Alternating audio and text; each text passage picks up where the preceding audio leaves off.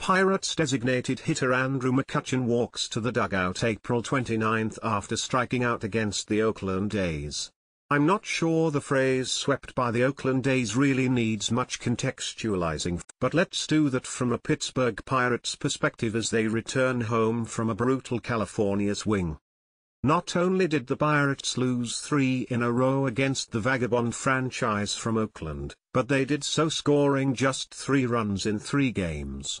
The trio of Oakland starting pitchers the Bucco batters faced were Joe Boyle, 7.06, Alex Wood, 6.59, and Ross Stripling, 4.98.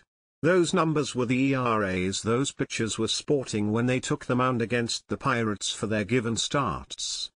During the series, the Pirates left 20 runners on base and were a collective 0 for 15 with runners in scoring position.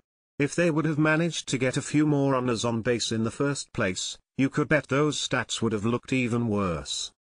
The sweep in Oakland against an A's team that had collected only 12 wins coming into the series was the cherry on the sundae of what ended up being a horrible end to April that bled into the start of May. The Pirates woke up in Philadelphia on April 15 at 11 5. Since that game on tax day against the Phillies, the Buccos have gone 3 13 and have fallen into last place in the National League Central at 14 18. Death. Taxes and the Pirates ruining a good April start. Over the course of those 16 games, the Pirates have plated just 31 runs for an average of 1.93 runs per contest. The club's run differential is minus 41 for that span. As of the start of Major League play Thursday, the Pirates ranked 26th in batting average with runners in scoring position, .205. Perhaps most disturbing among those numbers is that the Pirates have the seventh most at-bats with runners in scoring position, 273. Yes, for all those April showers we saw here in Pittsburgh, don't expect any Mayflowers.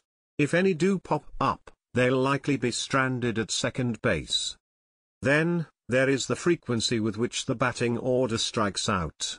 With 300 total Ks so far this year, only five teams have more in MLB, the Pirates have only 24 home runs, 26th in baseball.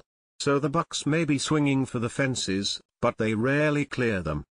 Steelers decline fifth-year options for RB Najee Harris, QB Justin Fields. Pittsburgh Marathon offers strong tradition, something new. You mad, bro? Some fans didn't like the Steelers draft, or my opinions on it, rough debut for Pirates pup. On an individual level, the numbers aren't much better. In fact, some of them are even uglier. Of players with at least 40 at-bats, Connor Joe is the leading hitter on the team with a .283 batting average and an OPS of .890. No one else with that many at-bats is hitting over .265 or has an OPS better than .745.